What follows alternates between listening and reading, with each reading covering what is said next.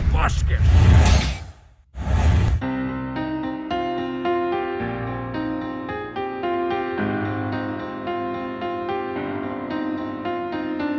The song sounds dramatic, but I'm bad at writing words. If you don't speak English, this probably sounds pretty good. You'd probably think I'm singing about some pretty serious stuff. But in reality, I'm singing about the lack of stuff. I'm singing about these parts intense and emotional.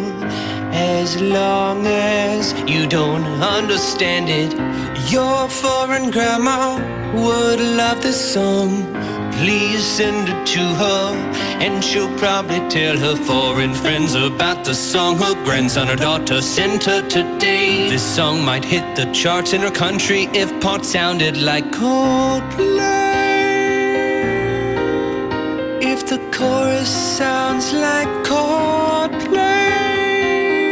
Then I put some la la la's in there.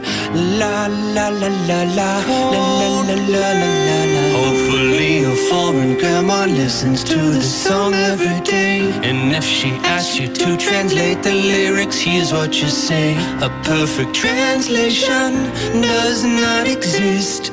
Well, at least not in your language, but if you must know, well, picture this 50 billion rainbows, and the sun is setting, and the moon is setting also, and you're there in a gazebo. And then God descends from heaven and He gives you a million dollars. Take that feeling and put it into a song.